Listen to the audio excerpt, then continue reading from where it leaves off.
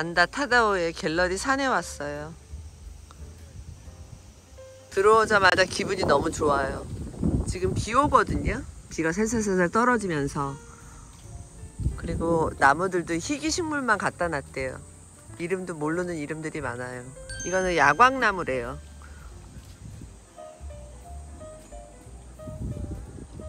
바람도 불고 날씨도 덥지도 않고 완전 좋아요. 어떠세요, 여러분?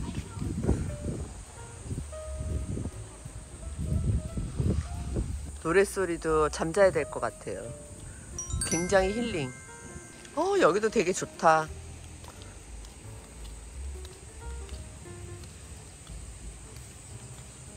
비까지 와서 너무 좋아요.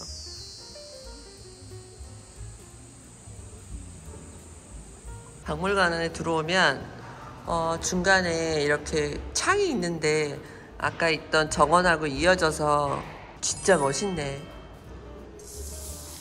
여기를 들어오면 오른쪽은 안다타다오고 이렇게 들어오면 여기는 종이박물관하고 하나박물관이에요.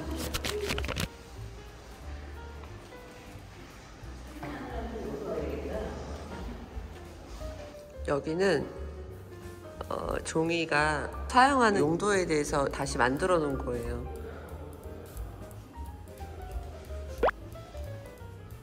반지꼬리도 종이로 만들었나 봐요. 부채도 종이로 만들었고 실함도 종이로 만들었고 등도 만들었고 종이를 뭐를 많이 만들었나 봐요. 망건통? 망건이 뭐지? 상투를 끌어올린 머리카락이 흐트러지지 않는, 않도록 동요매는 머리띠 화관도 만들었고요. 종이에 뜻을 담는데요. 여기는 갓도 있고 종이로 뭐를 했는지 보여주는 거예요. 옛날 사람들도 할 건 다 했다고. 여기 창조 미술관으로 가시면 돼요.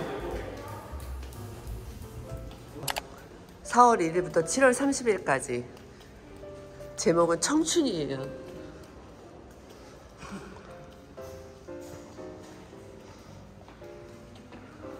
건축을 향한 끝없는 도전.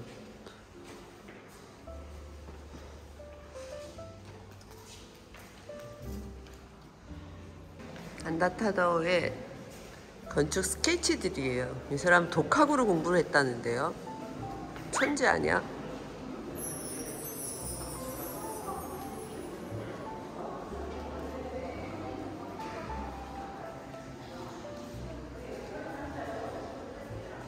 이거는 안도 타다오가 독학으로 건축을 공부했는데 세계 여행을 다니면서 뭔가 inspiration 받은 노트인 것 같아요.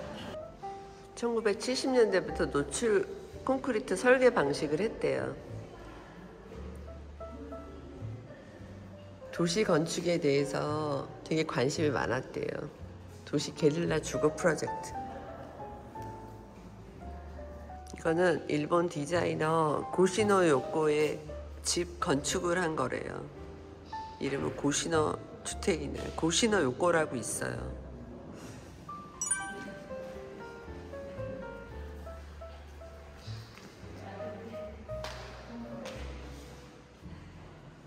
건축물에 스케치하고 공사 과정을 알려주는 거예요. 근데 제가 보니까 이 안다타다오의 카피 카피 디자이너들이 너무 많은 것 같아요.